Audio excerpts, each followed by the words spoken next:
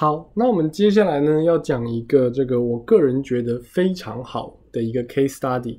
这个 case study 呢，大体上来说就是我想要排序，好，但是我不是要排整数，我是要把一堆名字拿来排序，或者你就想成我要把一堆字串拿来排序就好了。我给你一大堆的文字，一大堆的单字，叫你把它按字典顺序排序，大概是这个目的。所以呢，这个任务讲起来很简单，但是呢，我们做起来却有不同的 implementation 的方式。会指标不会指标，会不会善用这些函数差很多。好，所以我们马上来看一下任务呢，很简单。如果我原先给你四个名字或是四个 word，John、Mikasa、Aaron、Armin，我们的任务呢，就是把它们按照字典顺序排好哦，就变成 Armin、Aaron、John、Mikasa 这样子。我就想要按照字典顺序排好。这个是我们的目标，OK。那么呢，现在我们要来怎么执行这个目标？我们的策略大概是这样：我们待会儿啊会 implement 一个叫做比如说 bubble sort 的这个 sorting 啊。那你当然不必一定要 implement bubble sort，你也可以 implement 这个什么 merge sort 啊、quick sort 啊之类的。哦，那我们 implement bubble sort 当然是因为它的 implementation 会让我们对于我们今天在教的东西更有 feel。哦，大概是这样。好，Anyway，我们今天呢要做 Bubble Sort，大概是要做什么？很快讲一下哦。虽然很多人都已经知道了。假设我有七五四六九这几个数字，然后我想要把它们由小到大排序的话，Bubble Sort 大概是说我比较这两个数字，把比较大的移到右边去，所以变成五七四六九，再比较这两个数字，把比较大的放到右边去，变成五四七六九。再比较这两个数字，把比较大的移到右边去，五七呃五四六七九。再比较这两个数字，把比较大的放到右边去，哎，那没事。好，所以每当我这样子跑完一个 iteration，一个大的 iteration 了以后，我可以确定最右边这个数字是最大的。接下来呢，就对着剩下的数字烦恼就可以啦。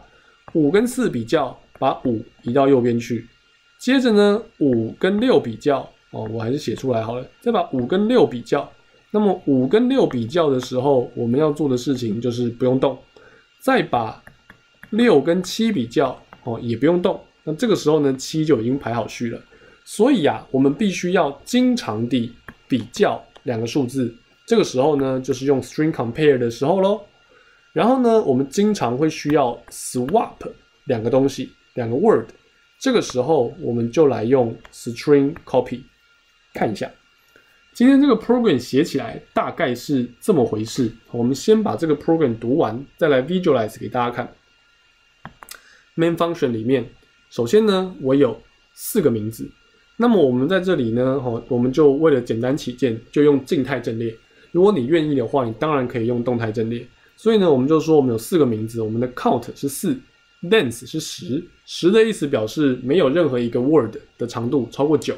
哦，因为你最后要有 no character 嘛，所以呢，我有一个静态阵列啊，基本上就是像这样子，四乘以十这样，然后呢，上面就存着第一个是 John，第二个是 Mikasa，第三个是 Aaron，然后第四个是 Army，大概是这样。好，接下来我做的事情呢，conceptually 是这个样子，conceptually 我是 implement 一个 bubble sort，所以呢，我基本上是一个两层回圈。然后呢，每当我有一个 i 跟 j 被给定了以后呢，我是去问，请问我的这个 string comparison j 跟 j 加一，它们是不是大于零？大于零的话呢，表示我这两个字的顺序应该要调过来。那这个时候呢，我就 swap 它们，swap 它们，所以我就把它们传进去。好，这个 name j name j 加一都是。个别的是一条字串，好，或者是一个字元阵列，所以你把 name j 跟 name j 加一传进去，就相当于是传两个阵列，来讲什么？两个字串进去。这里你可以看到，我们写的是 character star，反正就是 address 嘛，好，所以你传入两个字元的 address，表现两个阵列或者是两个字串，好。那我今天要 swap，先开一个空的空间，然后呢做三次的 string copy，把 n one 抠到 temp 里面去，把 n two 抠到 n one 里面去，再把 temp 抠到 n two 里面去，然后完成这个 copy。哦，这里事实上是一个很 typical 的 swap，只是因为我们有一大堆的字元，一大堆的字串，所以我们要做 string copy，而不是直接在那边写说，比如说 temp 等于 n one。哦，你这样写马上就会大爆炸，因为呢，这是这是 address，这是 address，根本不能这样子乱了塞。哦，所以你要做的事情当然就是使用 string copy 之类的东西喽，这样子。哦，所以整个架构你再看一次，哦，细节大家回去慢慢读。反正 bubble sort 需要一个两层回圈，每一次执行的时候呢，你是问，请问这两个数字需要交换吗？需要交换你就换。传进来的既然是 address，那么你在这里做 modification 的时候 c a l l i 的这些 argument 自然就会被改到。然后呢，最后我们再来 print out 这些名字。好，那么刚刚这样讲确实是很抽象，所以我们来感受一下。一开始的时候呢，i 等于零，j 等于零，对吧？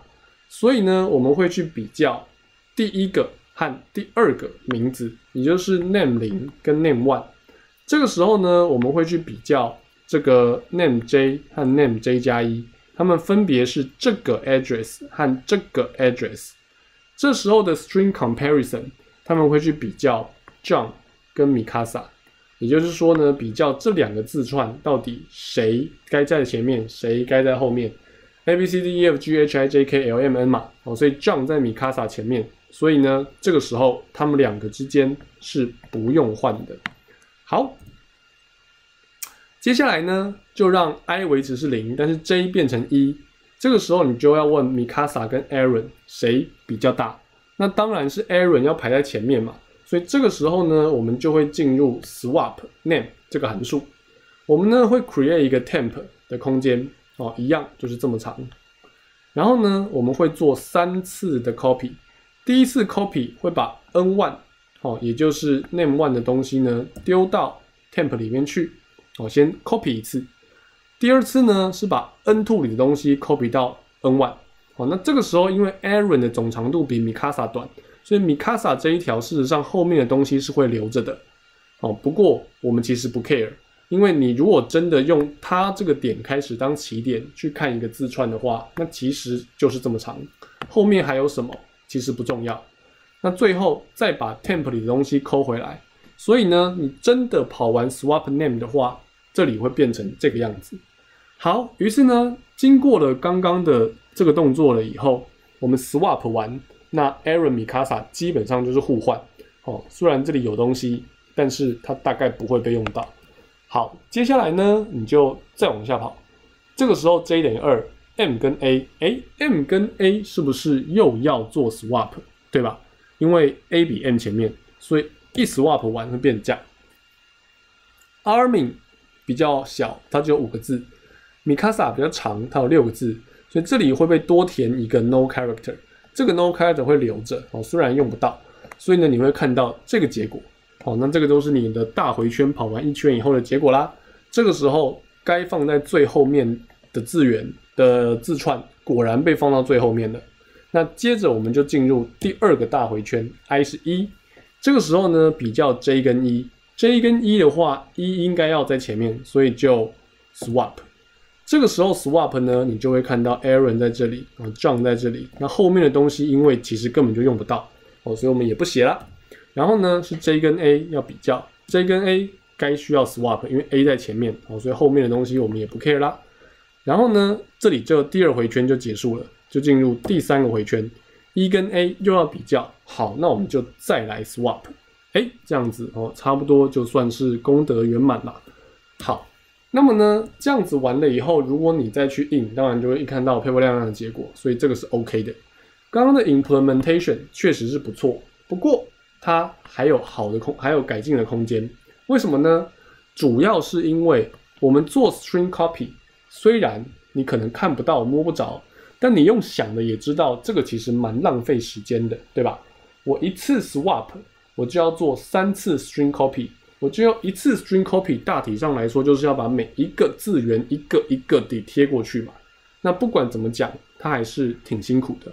好，所以我们将要有一个更好的 implementation，是我们要 swap pointers。怎么做呢？我等一下我要先用一些 pointer 去指向这些名字，接着当我发现两个名字应该要被 swap 的时候，我不要 swap 名字，而是 swap pointer。也就是说呢，我们换我们交换它们里面存的 address，这样子实际上就会达到 swapping 的效果啦。哦，所以我们先看一下这个 program。哦，这个 program 要懂就更困难，哦，更需要你懂指标。但是懂的话，等一下有很大的好处的。看一下，首先一开始还是先 create 那个四乘十的姓名阵列，这跟刚刚一样。接着呢，create 一个。指标阵列，好，所以这里有四个指向字元的指标，它们个别地指向谁呢？指向 name 零、name one、name two、name 三，所以就是四个指标去指向这四个名字。然后接着我们要做事情，如果我要做 string comparison，我就去 compare 指标。因为指标既然指向字串，它就可以代表那个字串。然后呢，这个时候如果我发现它需要换，我们就呼叫这个 swap pointer，swap pointer，我们就把这两个要换的东西丢进去。swap pointer 里面在做的事情，看一下是什么。呃，先有一个 temp，然后把东西塞进去，东西塞进去，temp 塞回来，所以架构上应该跟之前差不多。那因为 P one P two 是两个资源指标嘛，所以你的 temp 当然也是资源指标。好，所以这个时候呢，很明显地跟原本不大一样。原本是传进来的 n one n two 是两个阵列。好，虽然我们都是写 char 星号，但是实际上传进来的是两个阵列。所以呢，你真的要把两个阵列的 content 换掉的话，你需要 temp 也是一条阵列，让你可以 copy 来 copy 去的。但是现在因为就是指标，所以呢不需要产生新的阵列了。那接下来是一个关键性的问题，这里你可以看到 and，好，平常没事的话，你如果就是直观地去理解指标，你知道所谓的星号和 and 其实是互相抵消的两件事，对吧？那我今天在这里又星号又 and，到底想干嘛？它呢其实是我们第一次看到的所谓的指标。的 reference 哦，指标的 reference，或者呢，哎，你应该理解为我们对指标参数做 call by reference，OK？所以我们这里为什么要 call by reference？注意看哦，我传进来两个指标，对吧？传进来两个指标，如果我这里没有 call by reference 的话，会发生什么事情？我就会产生两个 local 的指标，把这两个的 value。传进去，然后这两个 local 指标在那边换的很爽，最后 local 的指标全部都消失，这两个人根本就不会换。